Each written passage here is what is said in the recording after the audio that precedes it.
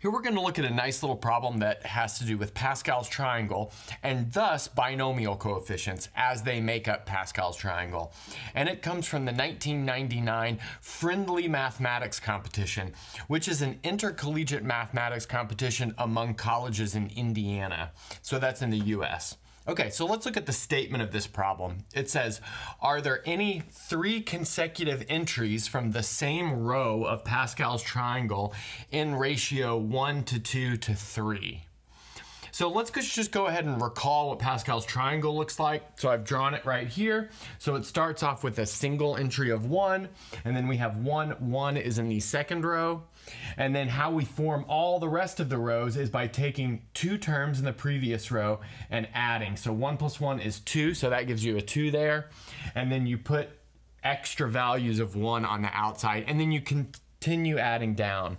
So notice one plus two is three, two plus one is three. And then if we wanted to go further, we would get an extra one here. Three plus one is four, three plus three is six, one plus three is four, and then we get an extra one there. And I want to recall, so we're not going to prove this or anything, but I want to recall that we can also write this Pascal's triangle via binomial coefficients. So the first row is just 0 choose 0. The second row is 1 choose 1 and 1 choose 0. The third row is 2 choose zero, two choose 1, and 2 choose 2, and then so on and so forth. So that means the nth row is going to look like this. So it'll look like n choose 0. So that's the first entry from the nth row. n choose 1, n choose 2. Maybe some arbitrary entry will be n choose k all the way up to n choose n. Now you may know that like n choose 0 is 1 and n choose n is 1 and then n choose 1 is n and then also there's some sort of symmetry to this. But we're not actually going to use that in this case. We'll just use the closed formula for a binomial coefficient. So maybe let's recall that real quick. So here we'll recall that n choose r is equal to n times n minus 1 all the way down to n minus k plus 1 over r factorial. And this is the proper definition that can be used as long as you have a natural number, or I should say a non-negative integer in the bottom. You can have really an element from any associative algebra in the top. And so you can generalize this to binomial coefficient with, say, a complex number or even a quaternion, a quaternion or something. So that's pretty interesting. But if you have a natural number up top, then there's maybe a more familiar way to write this down, and that is as n factorial over r factorial times n minus r factorial. Good. So now that we have this idea of the nth row and then a closed form for an arbitrary binomial coefficient, let's look at what we mean by consecutive entries. So that means we're going to need, well, in this case, three consecutive entries. So we'll need n choose k. We'll need the one right after that, which is n choose k plus 1, and the one right before that, n choose k minus 1. So I'm using this technique of introducing some symmetry into the problem. This is not strictly necessary here because it's not that um, complicated of a solution, but notice I symmetrize this with the central term n choose k. Okay, and then let's go ahead and write this um, ratio condition as an equation. So notice that the ratio condition is the following equation. So we want the second one divided by the first one to be 2 times 1. In other words, we want the second one to be twice the first one.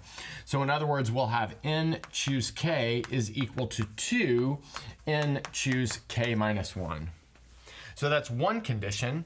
And then the other condition is that the third binomial coefficient must be 3 halves the second binomial coefficient. So we're comparing it to the second one instead of the first one because we've symmetrized this thing so that the second one is like the simplest one. Okay, so that means we're going to have this third one, n choose k plus 1, will be equal to 3 halves the second one, n choose k. But just to keep everything as whole numbers, let's go ahead and take this 2 over here and write it um, on the other side of the equation.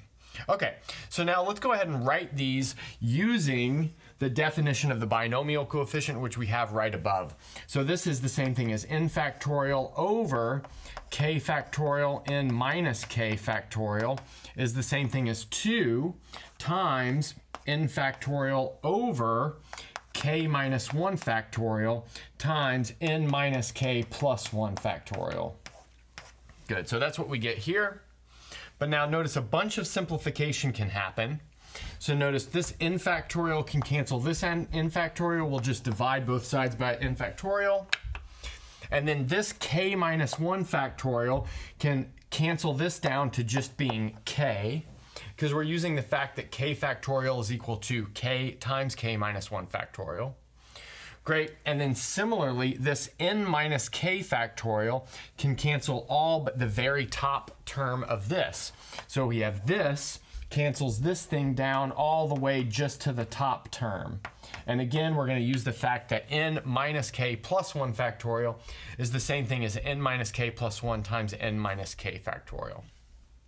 So it might seem like we have a mess here, but let's go ahead and rewrite this so that we can see it a little bit more clearly. So left on the left-hand side is 1 over k, and on the right-hand side we have 2 over n minus k plus 1.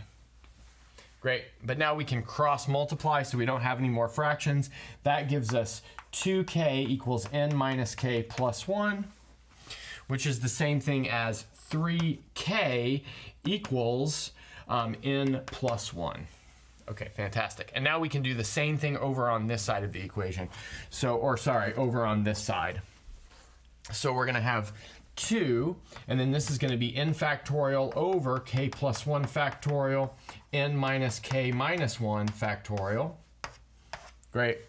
And then on the left-hand side, or on the right-hand side, we'll have 3, and then n factorial over k factorial, n minus k factorial.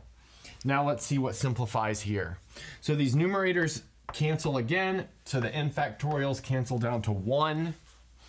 But now this k factorial is going to factor this k plus 1 down to just k plus 1 instead of k plus 1 factorial. And then this guy right here, this n minus k minus 1 factorial, is going to cancel this one down just to n minus k. So we're left with 2 over k plus 1 equals 3 over n minus k. So let's see, after cross multiplying, that's going to give us 2n minus 2k equals 3k plus 3. So we can kind of put this together to notice now we have 5k equals 2n minus 3. So there I just moved the 2k over to the other side of the equation and subtracted 3 from both sides of the equation.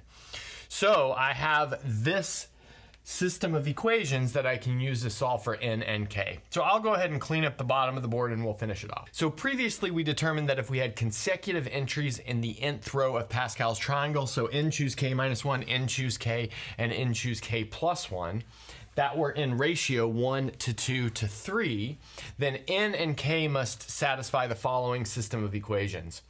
So hopefully this will have a solution within the positive integers. That's the only thing that would make this make sense because otherwise we would be outside of Pascal's triangle. Or if k is non-positive integer, or I should say a non-negative integer, then the whole thing falls apart. So let's go ahead and make sure we have a solution that makes sense. So I'm gonna go ahead and take this first equation and multiply it by two so the coefficient of n is the same in both. So if I multiply this by 2, that's going to give me 6k equals 2n plus 2. And now I have 5k equals 2n minus 3. But that sets me up really well. I can subtract the second equation from the first equation. And notice that we have 2n minus 2n, so that's good. I have 6k minus 5k, so that's going to give me k. And then I have 2 minus minus 3, so that's going to give me k equals 5. So we're in luck because k needed to be a non-negative integer for this to make sense in the first place. Now let's go ahead and plug this back maybe into this equation. So we'll take this k equals 5, plug it back into this equation, and notice that that gives us 15 equals n plus 1. In other words, we have n equals 14. And that's good as well because now we've got our three consecutive entries from Pascal's triangle. We have 14, choose 4. We have 14, choose 5. And then finally we have 14, choose 6. And by the, all of this calculation we did, these are guaranteed to be in ratio 1 to 2 to 3.